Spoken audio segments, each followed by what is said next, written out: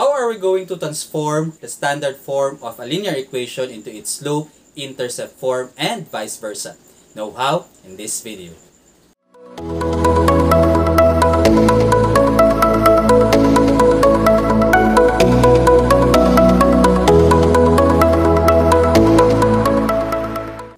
Good day learners! What we're going to discuss now is how to change the standard form of a linear equation into its slope-intercept form and vice versa. So uunahin muna natin yung pag-write or pag-change sa standard form ng linear equation into its slope-intercept form. As we all know, the standard form of a linear equation is ax plus by is equal to c.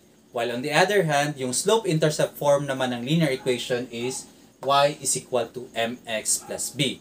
So, yung mga given natin dito ay written in standard form. At itra-transform natin sila into slope-intercept form.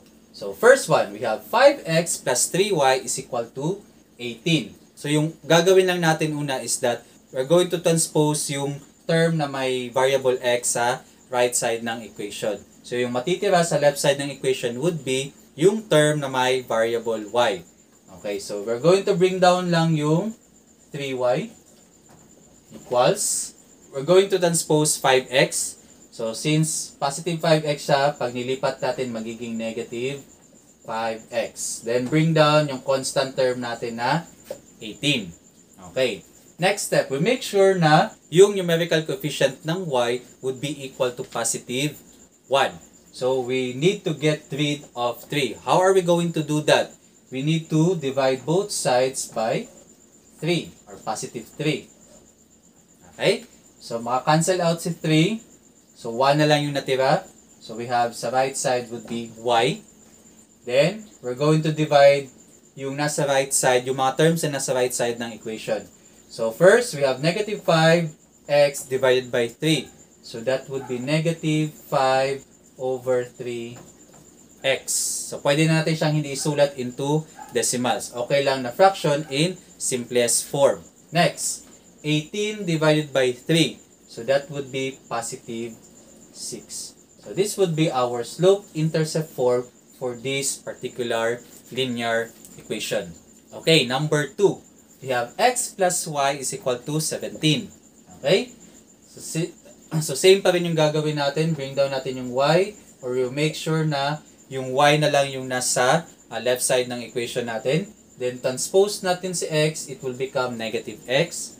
Bring down the constant, positive 17. So since yung numerical coefficient ng y is already 1 or positive 1, so there is no need to divide both sides of the equation by a particular uh, coefficient. So this would be our final answer.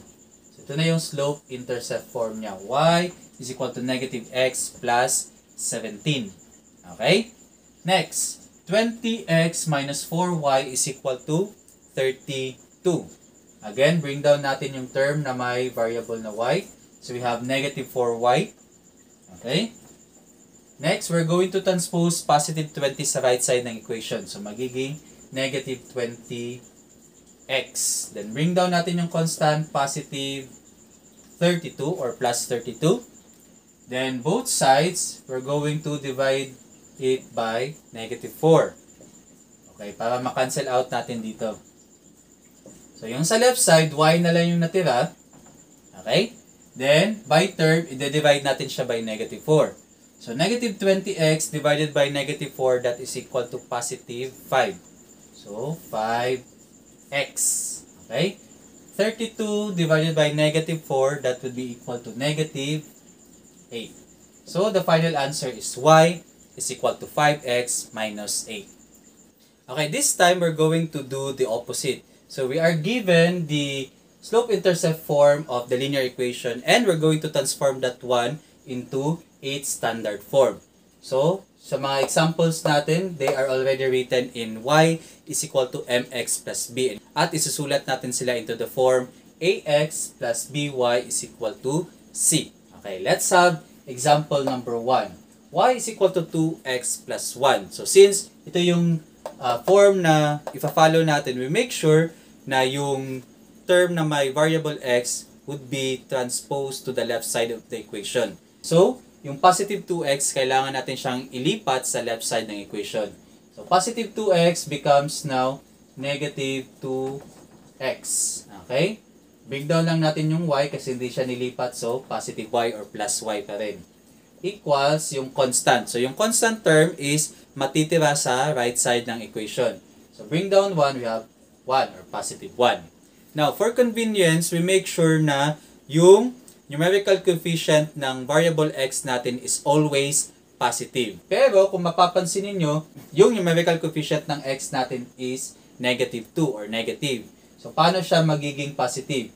So we're going to multiply the whole equation by negative 1. Okay?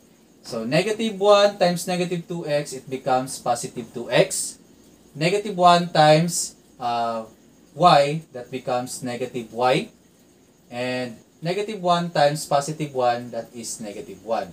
So, this would be our final answer. So, okay lang na negative yung y at saka yung constant term as long as yung numerical coefficient ng variable x is always positive. And at the same time, it would be convenient na wala ring fraction na makikita sa final answer natin. Okay, let's proceed with example number 2.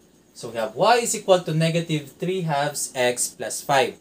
Again, kailangan nating ilipat si uh, negative 3 half x sa left side ng equation. So, yung negative 3 halves now becomes 3 halves or positive 3 halves x.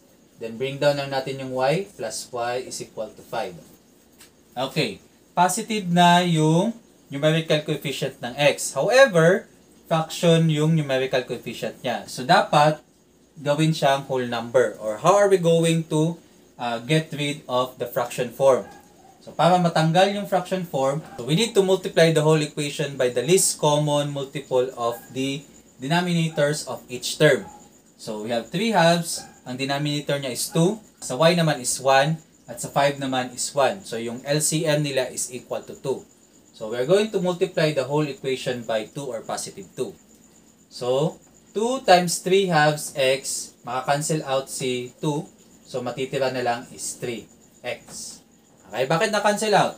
2 times 3, you will have 6. 6 divided by 2, that would be equal to 3. Okay, shortcut lang yung cancel out ko. So, natira would be 3x. Next, after nito, si 2 naman, we're going to multiply it to y. So, 2 times y, you will have 2y. Okay, lastly, 2 multiplied by 5, you will have 10. So, yung final answer natin would be 3x plus 2y is equal to 10.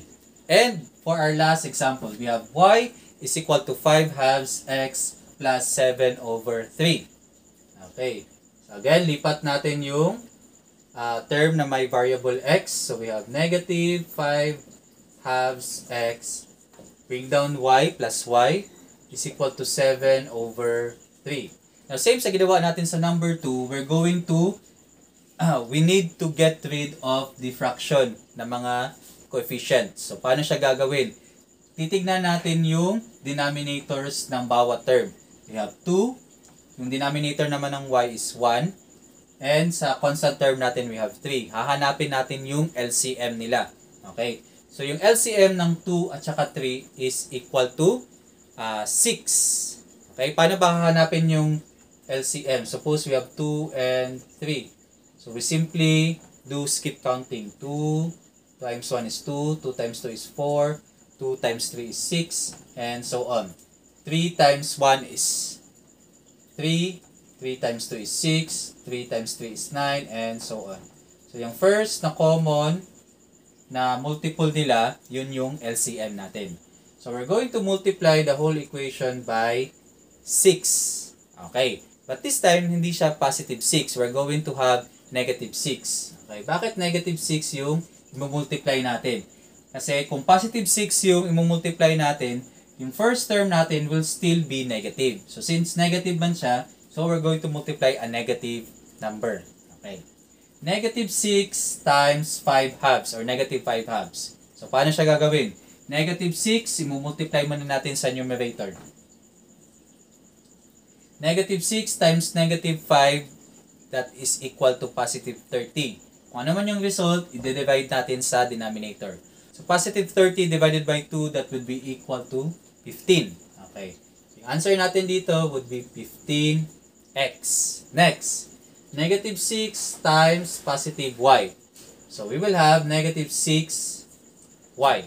And lastly, negative 6 times 7 over 3. Again, multiply muna natin sa numerator. Negative 6 times positive 7, that is equal to negative 42. Negative 42 divided by 3, that is equal to negative 14. So our final answer would be 15x minus 6y is equal to negative 14. Now it's your turn. Try to answer the following questions.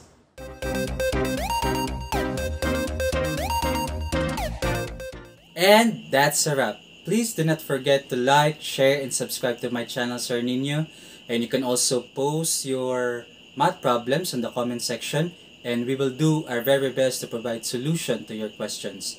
Because remember, every problem has a solution at kung math ang problema ninyo, ako ang kagapay ninyo, ako ang Sir Ninyo.